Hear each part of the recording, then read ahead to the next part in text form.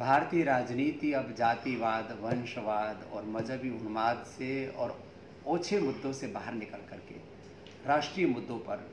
केंद्रित हुई है। और मोदी जी ने जो पाँच वर्षों में विकास की आधारशिला तैयार की आने वाले वक्त में,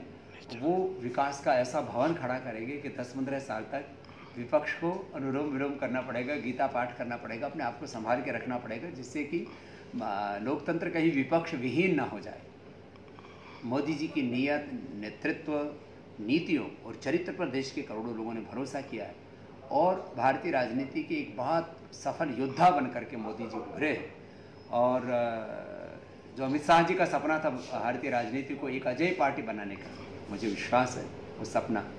पूरा होगा